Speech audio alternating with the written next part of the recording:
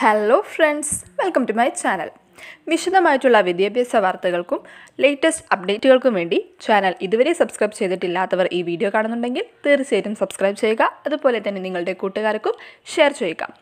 അപ്പോൾ ഇപ്പോൾ പുറത്തു വന്നിരിക്കുന്ന ഒരു പുതിയ ന്യൂസ് എന്താണെന്ന് വെച്ചിട്ടുണ്ടെങ്കിൽ നമ്മൾ മുൻപേ അറിഞ്ഞിരുന്നു S S L C plus ടുക്കാരുടെ പരീക്ഷകൾ ഏതായാലും മാർച്ചിൽ തന്നെ നടക്കുമെന്നുള്ള കാര്യം ഉറപ്പായിട്ടുണ്ട്. അപ്പോൾ അതിൽ സിലബസ് കുറയ്ക്കും മുപ്പത് ശതമാനം വരെ കുറയ്ക്കും എന്നുള്ള ഒരു രീതിയിലുള്ള വാർത്തകൾ വന്നിരുന്നു. നമ്മൾ അത് റിപ്പോർട്ട് ചെയ്തിട്ടുണ്ടായിരുന്നു നമ്മുടെ ചാനലിലും. പക്ഷേ ഇപ്പോൾ വിദ്യാഭ്യാസ വകുപ്പ് അറിയിക്കുന്നത് സിലബസ് കുറയ്ക്കുന്നില്ല എന്നതാണ്. കേന്ദ്ര സർക്കാർ സിലബസുകൾ കുറയ്ക്കണം എന്ന് എല്ലാ സംസ്ഥാനങ്ങളോടും നിർദ്ദേശിച്ചിട്ടുണ്ടെങ്കിലും കേരളം പറയുന്ന കേരള സർക്കാരിന്റെ തീരുമാനമനുസരിച്ചിട്ട് സിലബസുകൾ കുറയ്ക്കുന്നില്ല. പക്ഷേ ഇത് കേട്ടിട്ട് ആരും ഞെട്ടേണ്ട കാര്യമില്ല. അതിനേക്കാൾ ഹാപ്പി ആയിട്ടുള്ള ന്യൂസുകളാണ് സർക്കാർ നമുക്ക് വേണ്ടി മുന്നോട്ട് വെച്ചിരിക്കുന്നത്. അതായത് മിക്കവാറും എല്ലാ ചോദ്യങ്ങൾക്കും ഓപ്ഷൻസ് നൽകും എന്നുള്ളൊരു തീരുമാനം വന്നിട്ടുണ്ട്. ഇതിൽ പരം മറ്റെന്ത് വേണം അല്ലേ?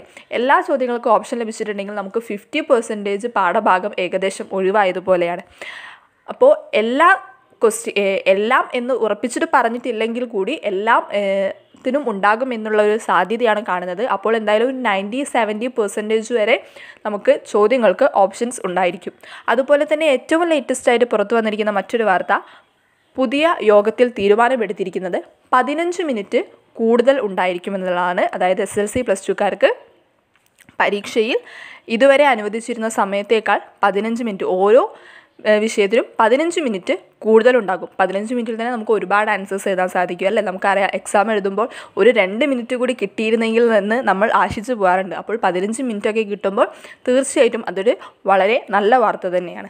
പിന്നെ മറ്റൊരു ന്യൂസ് എന്താണെന്ന് വെച്ചിട്ടുണ്ടെങ്കിൽ നവംബർ വരെയുള്ള ചാപ്റ്റേഴ്സ് ഇതിപ്പോൾ ഓൺലൈൻ ക്ലാസ്സിൽ നവംബർ വരെ എടുത്ത ചാപ്റ്റേഴ്സിൽ നിന്നായിരിക്കും കൂടുതൽ ചോദ്യങ്ങൾ എന്നുള്ള വാർത്തയും പുറത്തു വരുന്നുണ്ട്. അപ്പോൾ ഒരു ട്രിപ്പിൾ സന്തോഷ വാർത്ത തന്നെയാണ് പരീക്ഷ എഴുതാൻ പോകുന്ന കുട്ടികളെ കാത്തിരിക്കുന്നത്. അപ്പോൾ ഏത് ചാപ്റ്റേഴ്സ് ആണ് എന്നുള്ള അങ്ങനെ കൃത്യമായിട്ട് പറഞ്ഞിട്ടില്ലെങ്കിൽ കൂടി നവംബർ വരെ എടുത്തിട്ടില്ല. കാരണം നവംബർ വരെ കൃത്യമായി ഓൺലൈൻ ക്ലാസ്സുകൾ ഉണ്ടായിരുന്നു. അതിനുശേഷം ഇപ്പോൾ ജനുവരിയിൽ നമുക്കറിയാം സംശയ ദൂരീകരണത്തിനായിട്ട് നമുക്ക് സ്കൂളിലൊക്കെ പോകാൻ സാധിക്കുമെങ്കിൽ കൂടിയും എത്രത്തോളം കൃത്യമായി ക്ലാസ്സുകൾ എടുക്കാൻ സാധിക്കുമെന്നറിയില്ല. അതുകൊണ്ടായിരുന്നു മുപ്പത് ശതമാനം കുറയ്ക്കുമെന്ന് പറഞ്ഞിട്ടുള്ളത്. പക്ഷേ ആ മുപ്പത് ശതമാനത്തിൽ നിന്നും ഇപ്പോൾ ചോദ്യങ്ങൾ ഉണ്ടാകുമെന്ന് പറഞ്ഞിട്ടുണ്ട്. പക്ഷേ അതിന് ഓപ്ഷൻസും ഉണ്ടായിരിക്കും. അതുപോലെ തന്നെ പതിനഞ്ച് മിനിറ്റ് കൂടുതൽ സമയമുണ്ടായിരിക്കും അതുപോലെ തന്നെ നവംബർ വരെയുള്ള ചാപ്റ്റേഴ്സിനായിരിക്കും കൂടുതൽ എക്സാമിൽ പ്രാധാന്യം നൽകുന്നത്. അപ്പോൾ വളരെ ഒരു സന്തോഷ വാർത്തയാണ് പരീക്ഷ എഴുതാൻ പോകുന്ന കുട്ടികളെ കാത്തിരിക്കുന്നത്. ഇനി മറ്റ് ക്ലാസ്സുകളുടെ പരീക്ഷയെക്കുറിച്ചിട്ടാണ് അതിനെപ്പറ്റി ഗവൺമെന്റിൽ നിന്നും ഒരു എന്താ പറയുക ഗവൺമെന്റിന്റെ ഒരു ഔദ്യോഗിക അറിയിപ്പൊന്നും വന്നിട്ടില്ല. എങ്കിൽ കൂടി നമ്മൾ അന്വേഷിച്ചതിൽ നിന്നും നമ്മുടെ പല അധ്യാപകരിൽ നിന്നും ഒക്കെ അറിയാൻ സാധിച്ചിട്ടുള്ളത് പത്ത് പ്ലസ് ടു പരീക്ഷകൾ. അത് ഗവൺമെന്റ് അറിയിച്ചിട്ടുണ്ട് എന്തായാലും നടക്കും. പിന്നെയുള്ളത് പ്ലസ് വൺകാരുടെ പരീക്ഷയാണ്. പ്ലസ് വൺകാർക്ക് എന്തായാലും പരീക്ഷ ഉണ്ടാകും. പക്ഷേ അത് മാർച്ചിലോ അല്ലെങ്കിൽ മെയ്യിലോ ഉണ്ടാകുമോ എന്ന് നമുക്ക് ഉറപ്പിച്ച് പറയാൻ കഴിയില്ല. കാരണം നവംബറിലാണ് ക്ലാസ്സുകൾ തുടങ്ങിയത്. ആറു മാസത്തോളം ഒരു ഡിഫറൻസ് വന്നിട്ടാണ് ക്ലാസ്സുകൾ തുടങ്ങിയത്. അപ്പോൾ ചാപ്റ്റേഴ്സ് തീരുന്നതിനനുസരിച്ച് മാത്രമായിരിക്കും ഉണ്ടാവുക. പക്ഷേ പ്ലസ് വൺകാർക്ക് എന്തായാലും പരീക്ഷ ഉണ്ടായിരിക്കും. അപ്പോൾ പരീക്ഷയ്ക്ക് വേണ്ടിയെങ്കിലും അവരെ സ്കൂളിൽ കൊണ്ടുവരും എന്നുള്ളതാണ് ഇപ്പോൾ അറിയാൻ സാധിച്ചിട്ടുള്ളത്. ഇനി ഒമ്പതാം ക്ലാസ്സുകാരുടെ ഒമ്പതാം ക്ലാസ്സുകാരുടെ ഒരു പ്രത്യേകത എന്താണെന്ന് വെച്ചിട്ടുണ്ടെങ്കിൽ അവർക്ക് ഒന്ന് മുതൽ എട്ട് വരെ ഓൾ പാസ്സാണ് പക്ഷേ ഒമ്പതാം ക്ലാസ്സിന് ഓൾ പാസ് ഇല്ല. പത്ത് മുതൽ പ്ലസ് ടു വരെ ഉള്ളത് പൊതുപരീക്ഷകളാണ് ഒമ്പതിന് പൊതുപരീക്ഷയുമല്ല അപ്പോൾ ഇവരുടെ കാര്യത്തിലുള്ള തീരുമാനം എന്താണെന്ന് വെച്ചിട്ടുണ്ടെങ്കിൽ ഒമ്പതാം ക്ലാസ് ഒരു ടേണിംഗ് പോയിന്റ് ആണ്. പത്താം ക്ലാസ്സിലേക്ക് പോകുന്ന കുട്ടികളാണ്. അപ്പോൾ അവർക്കും പരീക്ഷ ഉണ്ടാവാനുള്ള സാധ്യത മറ്റു ക്ലാസ്സുകളെ അപേക്ഷിച്ച് വളരെ കൂടുതലാണ്.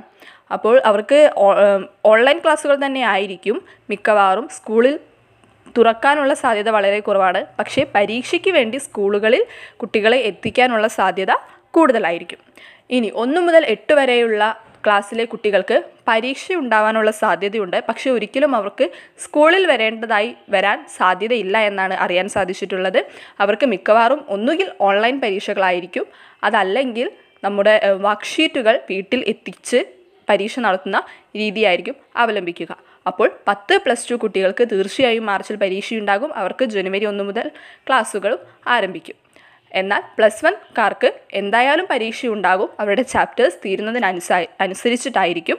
ഒൻപതാം ക്ലാസ്സുകാർക്ക് സ്കൂൾ ക്ലാസ്സുകൾ തുടങ്ങാനുള്ള സാധ്യത വളരെ കുറവാണ് സ്കൂളിൽ പക്ഷേ പരീക്ഷയ്ക്ക് വേണ്ടി അവരെ സ്കൂളിൽ കൊണ്ടുവരാനുള്ള സാധ്യത കൂടുതലാണ്. പരീക്ഷ നടത്താനുള്ള സാധ്യതയും കൂടുതലാണ്. കാരണം അവർക്ക് ഓൾ പാസ് ഉണ്ട് എന്നുള്ള രീതിയിലുള്ളൊരു വാർത്തയും ഇതുവരെ വന്നിട്ടില്ല.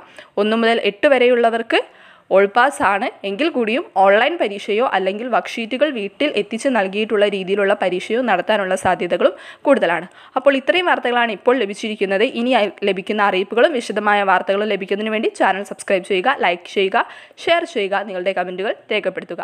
Thank for watching